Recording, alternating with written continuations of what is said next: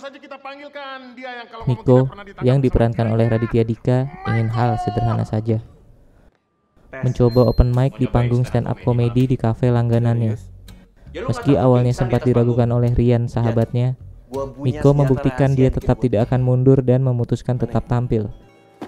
Di samping itu juga karena Miko sebenarnya ingin lepas jenak dari Putri, pacarnya yang tak hentinya marah-marah.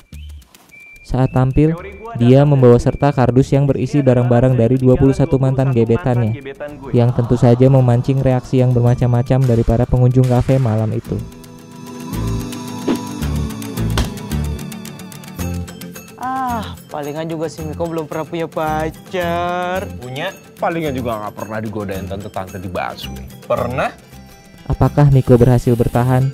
Bagaimana kelanjutan hubungannya dengan Putri? Dan apa sebenarnya cerita di balik kardus yang dibawa Miko? Uh, kalau gitu kita ngomongin artis yang lagi ngetren aja ya. Cherry Bell. Mas Miko mau ngeredekin Cherry Bell? Mas Miko nggak tahu, saya Caca. Saya ketua Cherry Bell chapter Bantar Gebang.